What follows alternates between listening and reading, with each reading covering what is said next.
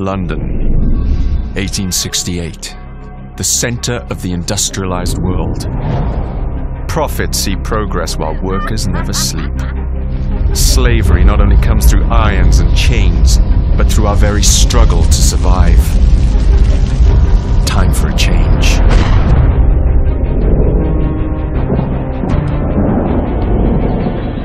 Enough of those who seek only their own gain.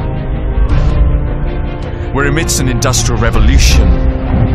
The telegraph, electricity, are changing the way that we live, shaping our future. But it must be a future for everyone. A different revolution is rising, more subtle. A blaze from the ashes of an old brotherhood.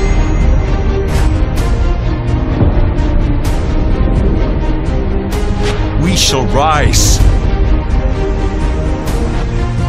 Street gangs will be our armies. The slums our fortress.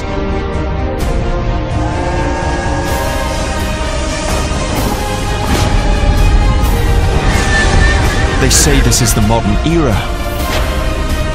I say it's time for a rebirth. And we shall lead the way. So, Assassin's Creed Syndicate takes place in London in 1868. The Industrial Revolution, in essence, is society going from almost a medieval society to the modern society in which we live in today. It's an increase in productivity that's never been seen before in the history of mankind.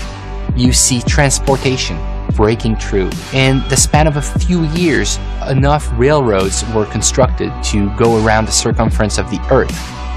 It's a world that's ruled by science. We'll see tons of progress in medicine that prolongs the lifetime of people from about 20 years old to 50 years old. It's a world that's no longer ruled by kings or by religion. It's a world that's ruled by money.